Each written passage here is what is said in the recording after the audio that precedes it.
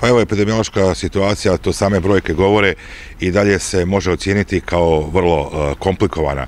E, kada je riječ e, konkretno o Banja Luci, dobili smo podatak da je u ovom trenutku u najvećem gradu Republike Srpske aktivno, odnosno virusom COVID-19 zaraženo 2148 osoba, a da je od početka izbijanja pandemije 7141 građanin Banja Luke bio zaražen COVID-om.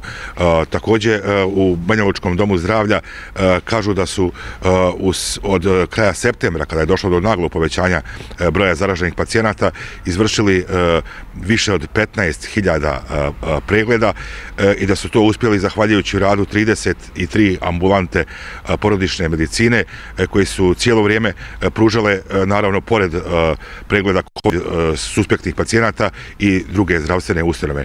Inače, Banja Lučki dom zdravlja danas je posjetio i član predsjedništva Bosne i Hercegovine Milorad Dodik koji je obišao dvije lokacije, jednu u kojoj se vrši testiranje pacijenata iz automobila i drugu ispred Banjalučke poliklinike, to je jedna od ARI ambulanti gdje se primaju pacijenti pozitivni e, na COVID.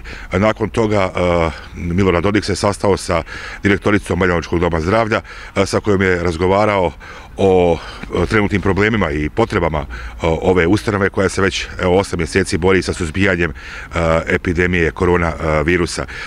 Kao najznačajniji prioriteti su naglačeni nabavka digitalnog rengena, još jednog vozila hitne medicinske pomoći kao i pokretnog e, mamografa, ali i kompletna digitalizacija e, rengenske e, sve opreme u Banjovičkom domu zdravlja.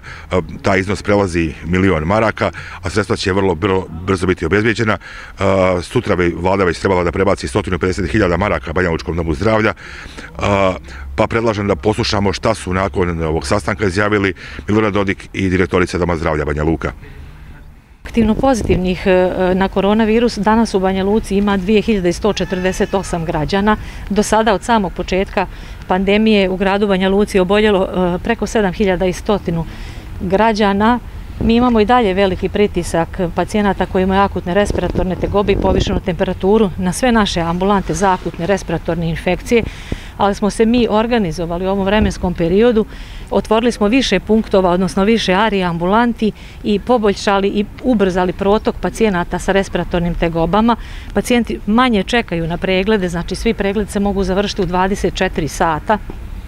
Došao sam ovde da potvrdim da medicinski radnici ovdje rade odgovoran i težak i zahtjevan posao.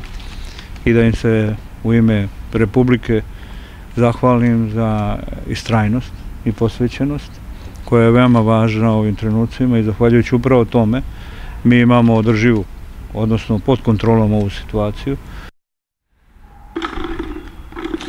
Eh, ono što treba reći još da je na eh, području Banja Luke eh, danas se započelo sa serološkim ispitivanjem građana na antitijela, odnosno da li u sebi imaju antitijela COVID-19.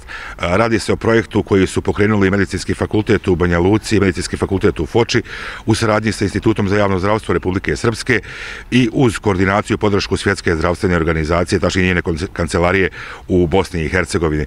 Naime, u dva naselja Banja Lučka, Starčevici i Petrićevcu, e, ambulante porodične medicine e, će nasumično e, pozivati građane koji onda na dobrovoljnoj osnovi mogu da se jave u ambulante i da sa čitavom porodicom izvrše serološko istraživanje krvi. Smatra se da bi se na ovaj način moglo doći do nekih saznanja, prije svega kada je riječ o onim pacijentima koji u sebi imaju antitijela, što znači da su faktički preležali COVID-19, a da nisu imali nikakve E, simptome. Inače, i dalje e, na mjeri ostaju do kraja e, mjeseca 30.11.